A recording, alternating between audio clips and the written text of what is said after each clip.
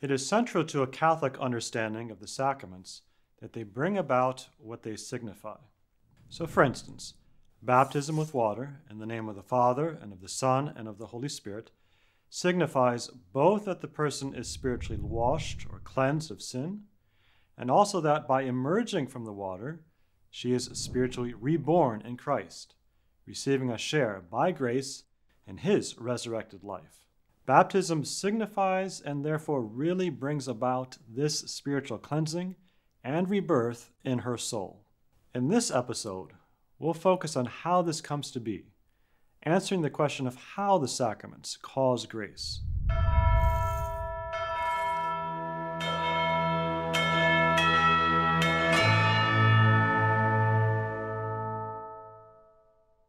Each sacrament involves three steps.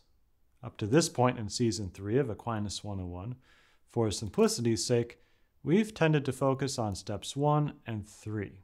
But now we'll see the full picture as we explore step two. Going up steps on a staircase is a good analogy to visualize the threefold or tripartite dimension of each sacrament. The first step is the sacramental ritual, the liturgical rite, the basic sacramental sign. This sacramental sign must be exteriorized, it must be physical. It may also require interior action.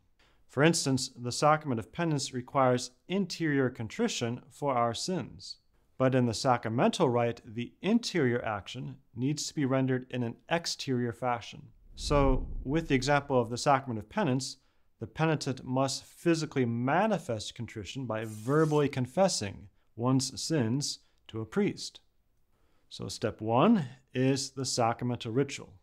In the old Latin terminology, it's called the sacramentum tantum, the sign alone.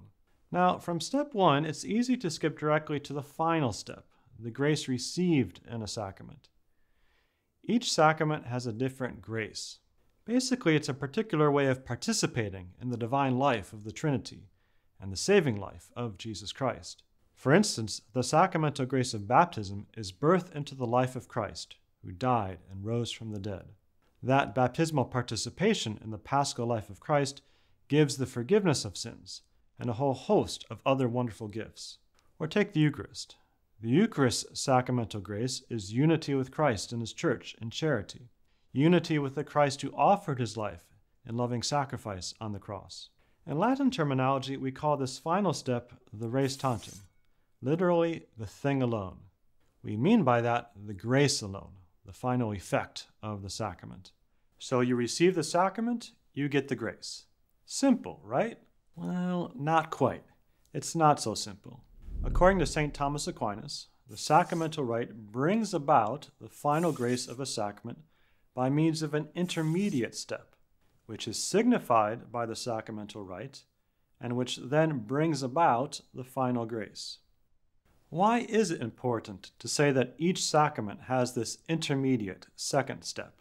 It's because the external rite really does bring about a new spiritual reality, but sometimes, due to an obstacle in the recipient, it may not result in the person's receiving the final sacramental grace. So there must be some important step in between that really does result from the sacramental rite, but that is distinct from that final sacramental grace. Suppose a bank robber goes to Mass right after committing his latest robbery. The priest says the words of consecration over the bread and wine, the first step, and they become the body and blood of Jesus Christ, the second step. At communion time, not having repented of his sin, the robber walks up and receives the Eucharist. Did he receive a sacrament? Yes and no. Yes, he ate the sacred host, which is really the body of Christ truly present under the appearance of bread. But because of his unrepented robbery, which has cut him off spiritually from God, the robber could not be further united with Christ and his church in charity.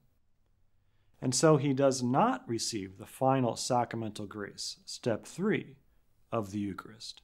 There's an intermediate step then in each sacrament between the rite itself and the final grace received.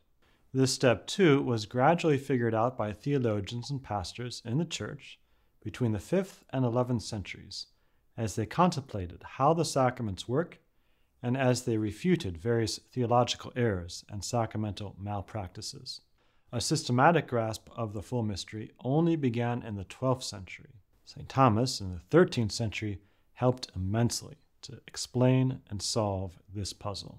Theologians and pastors saw that the sacramental rite, step 1, has an immediate effect, step 2, that itself is a causative sign towards step 3 the final step in the process.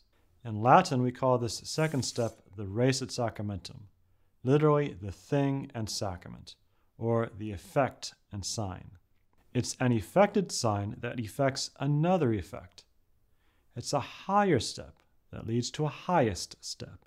As we go through the sacraments in detail in other videos, the role of this second step, the res sacramentum, will become clearer. You can think of these three steps as springboards, moving us higher toward union with God.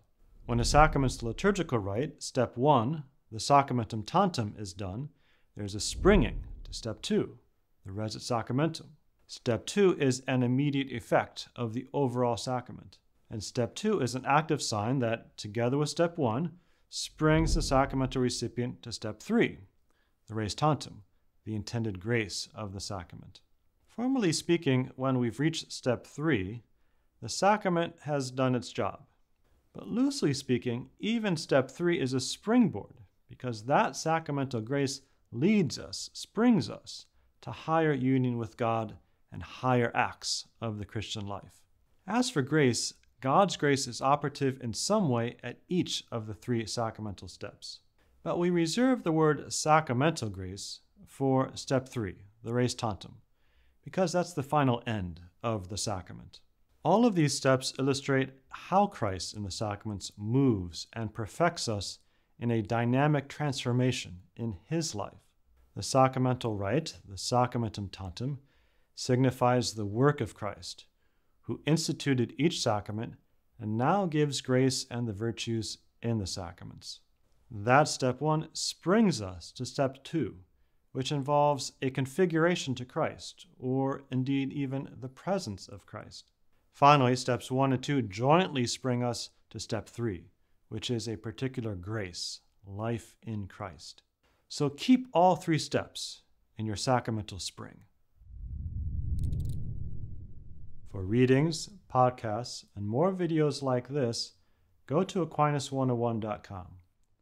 While you're there, be sure to sign up for one of our free video courses on Aquinas. And don't forget to like and share with your friends, because it matters what you think.